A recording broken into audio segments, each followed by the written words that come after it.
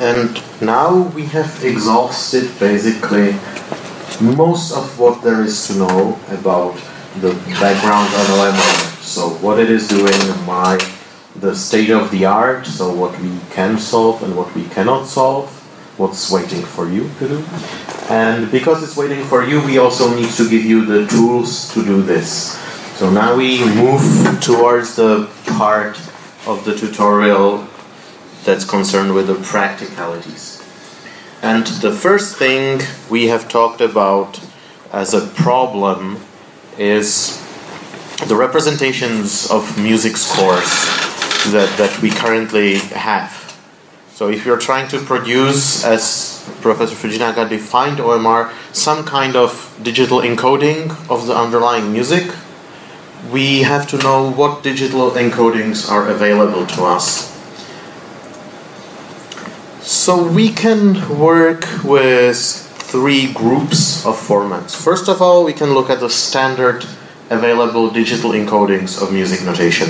This is today mostly Music XML, which is closest to an interchange format for scores.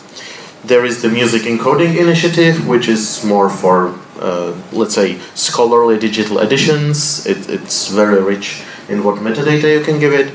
There is the Lilypond format, which is kind of a niche in music engraving, but as you will see, it has some properties that might be interesting for OMR research.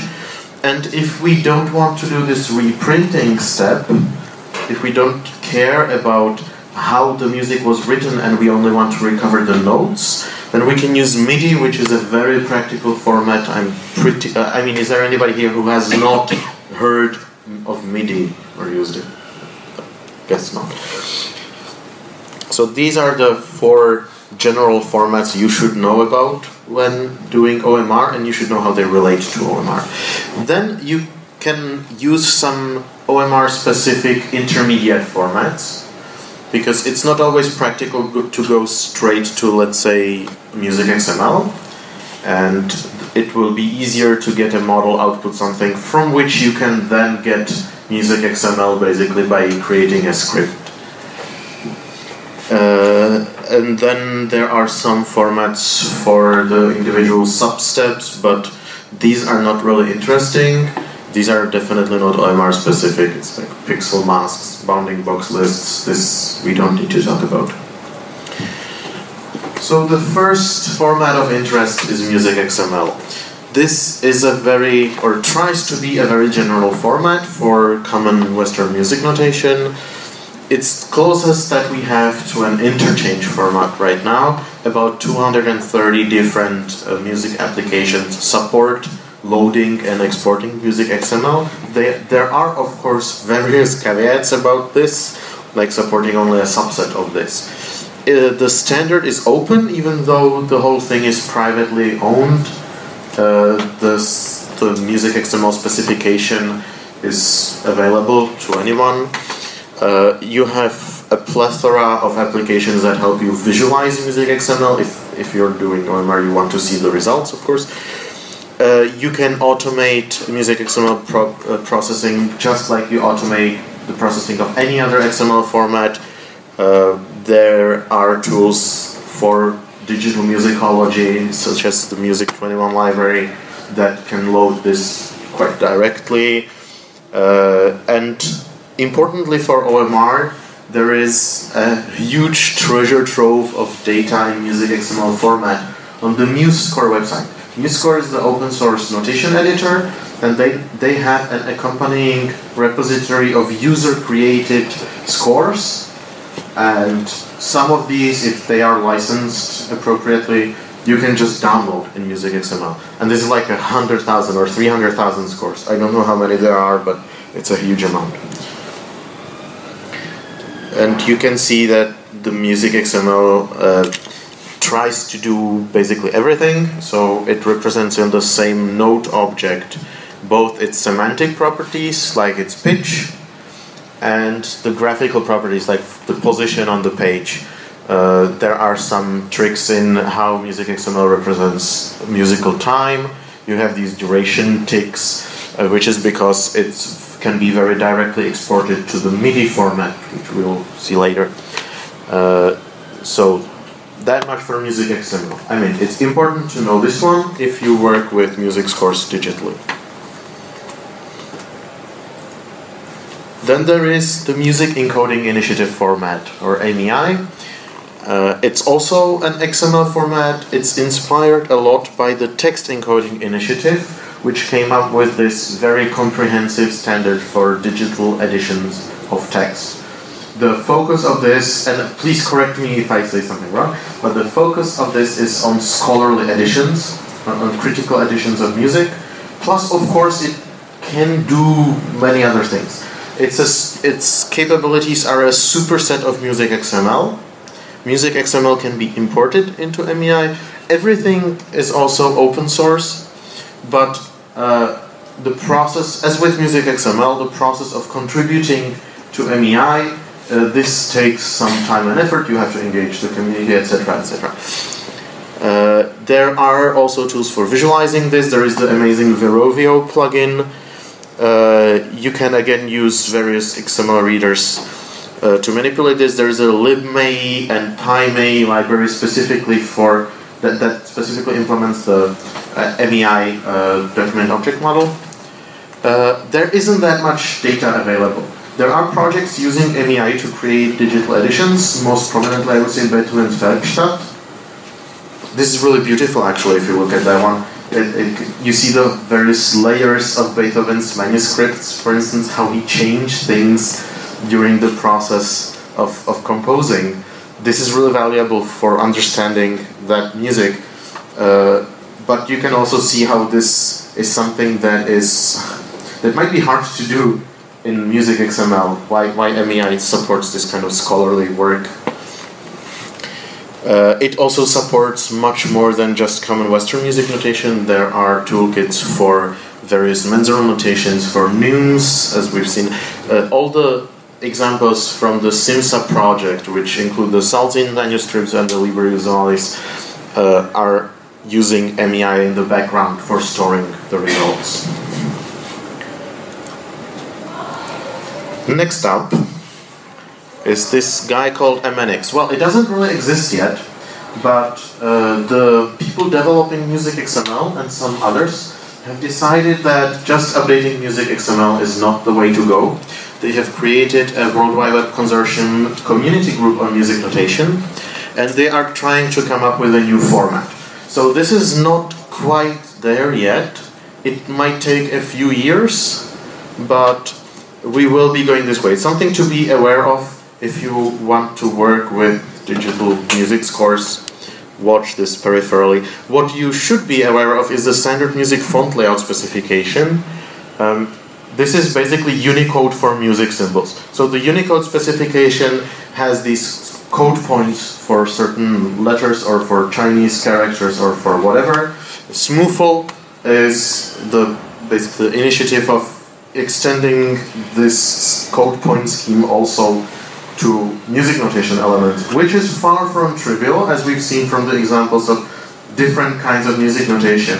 This is like this is a real problem because music notation, as opposed to your normal writing systems for German, Chinese, Japanese, whatever, music notation is not a glottographic script where you just have a sequence of glyphs corresponding to the sounds you give out in a sequence Music notation is a featural script where you get these little parts like the note head or the stem or the beam which have a clearly defined meaning but by themselves cannot be interpreted. You need configurations of these things.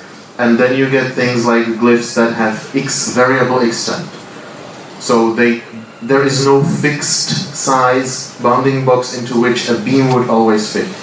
So these are these are problems that you don't get if you are designing a standard font. Right? So this is why SMUFL is a non-trivial thing. One question, Jan. Yeah. How does that relate to Music XML? The MNX format? Yes. Yeah. No, this is some. Uh, I'm not sure how much it's directly related to music XML. It's rather related to how a file encoded in music XML should be displayed, how to unify the ways of displaying these formats. So these XML-based file formats are perfectly sensible outputs for an OMR product. They enable you to use this as a black box. You get a music XML out of it, you can open it in music notation editor, fix the, fix the errors and you're happy.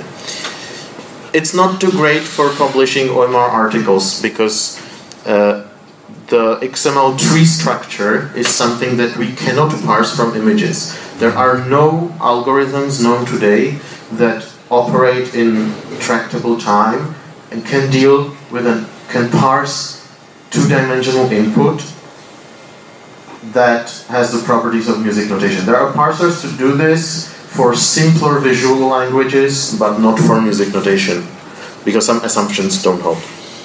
Uh, also, as you've seen, music XML, even though you have enough data to train something, as soon as you figure out the algorithm, uh, the way that it freely interleaves semantics and graphics is not entirely like you have to deal with both of these things even though you your application only needs to deal with one of them. And you cannot leave anything out.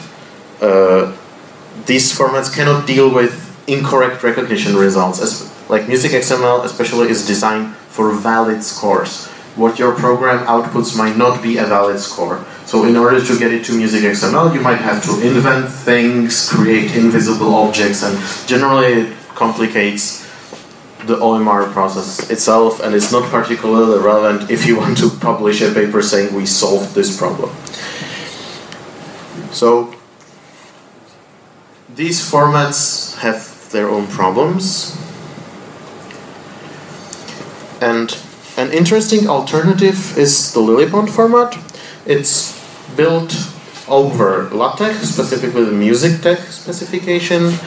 Uh, you get you use this for engraving.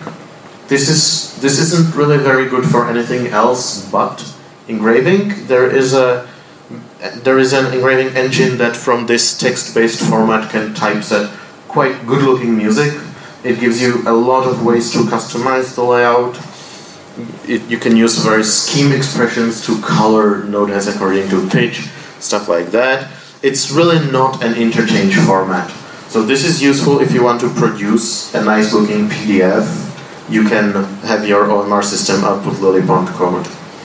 Uh, I don't think it has really been tried, so we are not sure whether it's a good idea to get Lilypond, but because Lilypond is to some extent really sequential, this might be a chance to do end-to-end OMR with polyphonic music, which is otherwise quite difficult with the single sequence models that we have. Maybe.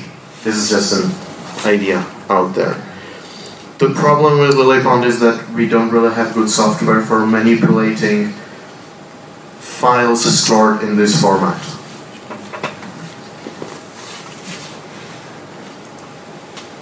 And then there is this MIDI thing based on a piano roll representation where uh, you have basically note events. So this is a format for storing performance rather than a score.